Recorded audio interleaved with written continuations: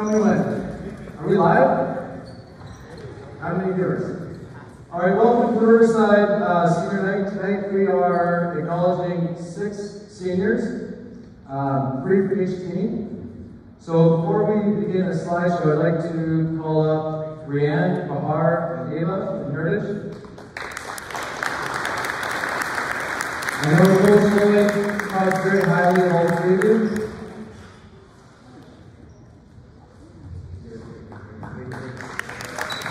And then, of course, we got Olivia, Rae, and Avery. They can come up as well. To do a, a quick photo right here.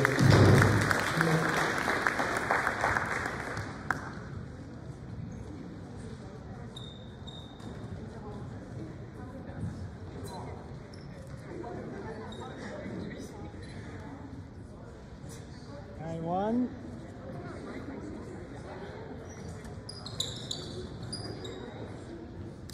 One, two, three. One more. One, two, three. Thank you.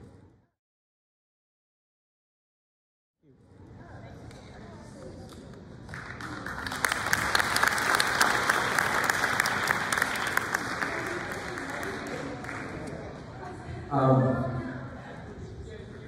so we're gonna make this pretty short. Uh, just got a quick thing on each of them. I know Olivia is like the glue of the team. She's uh, she's matured a lot uh, last year. and Showed uh, a lot of great um, positive energy on the bench, on the court, and even on the road trips. Um, every team needs grit. You guys know Garrett Pemberton? Rae showed a lot of grit uh, coming on the stretch there. She was uh, a big reason for our success, and know that she hits the floor and, and works her butt off every every game in practice. And then there's Avery. There's not a lot of players that compete harder than Avery and might want to win. And uh, you guys, you got big shoes to fill next year. We got a, oh, one, one slide to the back, sorry. One more hand for Rianne Bahar Ava as well. So Coach Langford has a, has a quick video that he wanted to share with you guys. So I'm hoping the sound works on this one.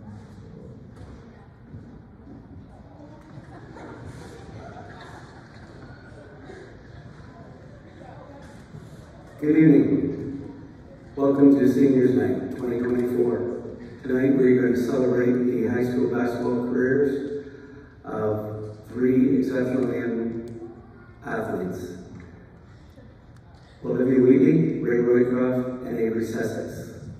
20 years ago, I was doing a celebration of some athletes. My youngest daughter, Kelly Langford, Megan McAllister, now Newfield, check the connection. Uh, Rebecca Burton, Sarah Josephson, and Courtney Kerwin. And I thought that would be my last Riverside Senior Girls Senior Night. But as it would have it, um, Mallory Kerwin's mom asked me, she was grade 9 at the time, if I would see Mallory through to her grade 12 season. I said yes, and I think I've done that a few times now because 20 years later, the school seems to not be able to get rid of me. Anyway, on to the athletes. Olivia Wheatley, she, uh, I met her when she was about 12. She came up through our JBOG program, coached her in club. She went to Pitt River, they went to grade eight districts down there.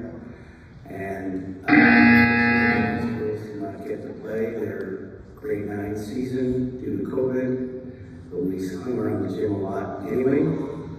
And then in grade 10, 11, and 12, uh, Olivia's been a key component to our senior team. She is great on the court with her enthusiasm, great off the court, big part of our championship season last year. Uh, Olivia will be taking her basketball skills on Thompson Rivers, and we're really excited about that. Another thing that needs to be mentioned about Olivia is that if there's something to do off the court, she's the first to apply, execute, and do it. She was fantastic as our student volunteer for the tournament family this year. She's a key component to our grade five jamboree, and we will certainly miss her, all of her energy and leadership in those areas. Rae Roycroft. Uh, I met Rae in, at Kilmer Elementary when Rae was in four. I'm not sure that Rae has grown since then because she stuck out big time then, and she was this enthusiastic girl who went after every loose ball, was really tough, and Rae is still doing that to this day. Rae was a star last year in our provincial championship run and started in the final, and she is great with her enthusiasm, her work ethic, and just a joy to coach. Rae, and I've gotta get this right, is gonna move on and play in CEGEP in Quebec. And that might be news for some of you, but we're really excited about that news. Uh, playing for Slam uh, basketball, and it will be uh, a great opportunity for her, so we're forward to that. Uh, Avery Sussex, what can I say? Uh, like I said before, I, I met Avery uh, when she was, she came up through the J-Bob program, also played club basketball with me, and again in grade nine, or she, she was part of that grade eight championship at Pitt River, that all three of them um, played at Pitt River. Um, but, and then in grade nine, we didn't have a season because of COVID. Avery then in grade 10 burst onto the scene, and in her very first game, she scored 36 points, and uh, she hasn't slowed down uh, since. Uh, Avery's been a dominant high school player in the province.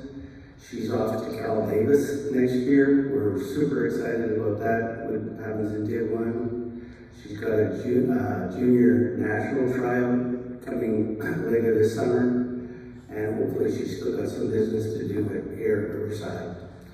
One thing I will share with you is that one time I, in one of the many times I drove, given uh, Avery a ride, one day she looked over at me and she said, hey, hey Paul, do you think you'll ever tell stories about Avery Sussex like you do about Shay Sanchez and Christina Collins and Courtney Curling like that?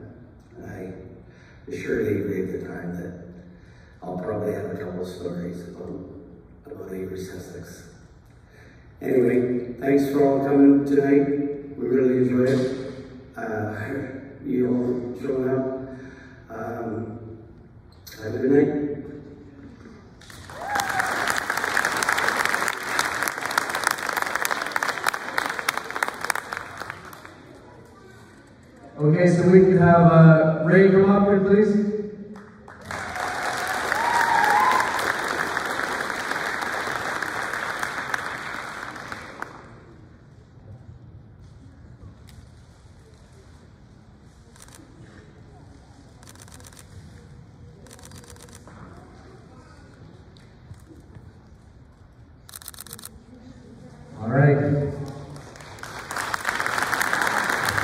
Olivia Whitley.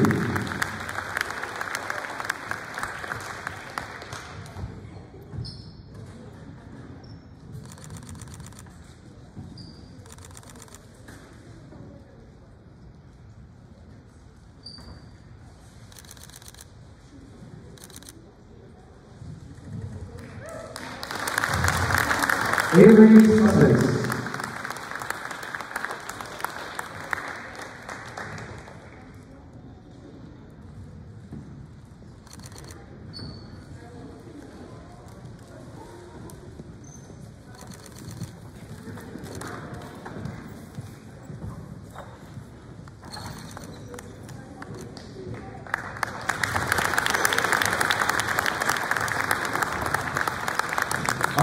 Some ball. You guys, uh, five minute warm up and get going here.